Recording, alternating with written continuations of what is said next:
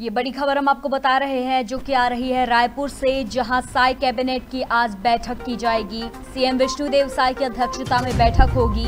सुबह 11 बजे CM house में यह बैठक होगी और बैठक में कई अहम विषयों पर चर्चा होगी। तो ये बड़ी खबर हम आपको अपनी टीवी स्क्रीन पर दिखा रहे हैं, जहाँ सुबह 11 बजे सीएम हाउस में साय कैबिनेट की आज बैठक होगी। बैठक में कई अहम विषयों पर चर्चा भी की जाएगी। तो ये बहुत ज़रूरी मीटिंग मानी जा रही है साई कैबिनेट की, जो कि आज होने वाली है। और ये रायपुर से बड़ी खबर आ रही है, जहाँ सीएम विष्णुदेव साई की अध्यक्षता में बैठक होगी।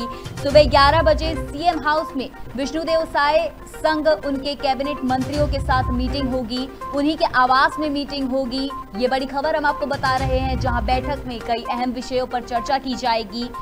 तो ये खबर बहुत अहम सामने आ रही है, जो कि साई कैबिनेट की आज बैठक होगी। बैठक में साय कैबिनेट के मंत्री शामिल होंगे। विष्णुदेव साय की अध्यक्षता में बैठक होगी और उसमें कई सारे कैबिनेट मंत्री भी शामिल होंगे। सुबह 11 बजे सीएम हाउस में यह अहम बैठक होगी। इस बैठक को काफ़ी अहम माना जा रहा है क्योंकि इस बैठक में कई अहम विषयों पर चर्चा की जाएगी।